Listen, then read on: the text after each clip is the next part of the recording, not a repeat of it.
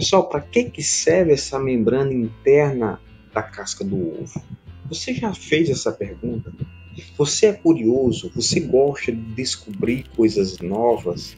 Então, no vídeo de hoje, inicio um quadro falando sobre curiosidades, falando sobre inovações na nossa criação de galinha.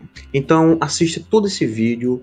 Se gostar, deixe a sua curtida, inscreva-se no canal e ative o sininho para você receber todas as notificações. Vamos ao vídeo. Pessoal, a membrana da casca do ovo ela é composta principalmente de proteínas fibrosas, como o colágeno tipo 1. E essa membrana ela tem e desempenha um papel muito importante na manutenção da qualidade do ovo e ela fornece proteção física e biológica ao embrião em desenvolvimento.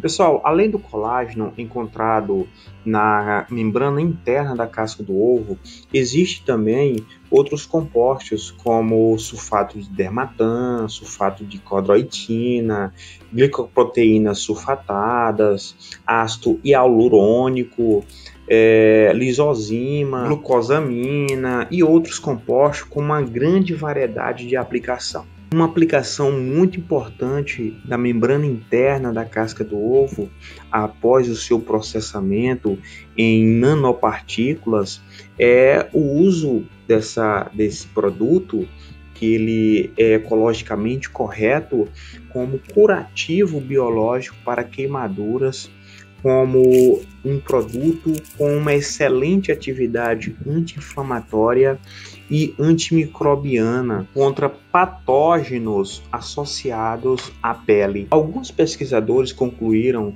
eu vou deixar na descrição do vídeo esse artigo, concluíram que após o processamento em nanopartículas, a membrana interna da casca do ovo tem um grande potencial como ingrediente tópico para aplicação e manter a saúde da pele reduzindo infecções bacterianas e inflamações associadas à pele. E devido a essa grande diversidade de compostos encontrados na membrana interna da casca do ovo, ela tem inúmeras outras aplicações, como por exemplo, um grupo de pesquisadores concluíram que é, a membrana interna da casca do ovo é uma possível nova opção terapêutica eficaz e segura para o tratamento de dores nas articulações. Então observe, pessoal, que eu citei apenas duas aplicações desse produto puro,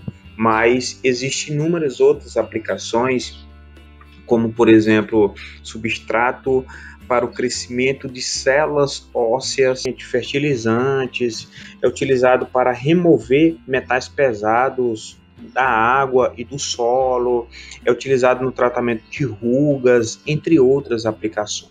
Então, o pó gerado da membrana interna da casca do ovo é foco de estudos, é foco de pesquisas, que com certeza trará inúmeros resultados positivos para nós humanos e para os animais, que em breve irei falar sobre esse assunto.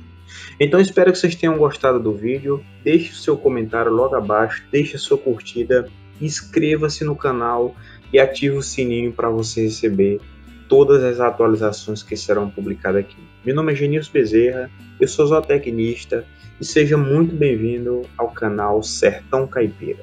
Muito obrigado e até o próximo vídeo.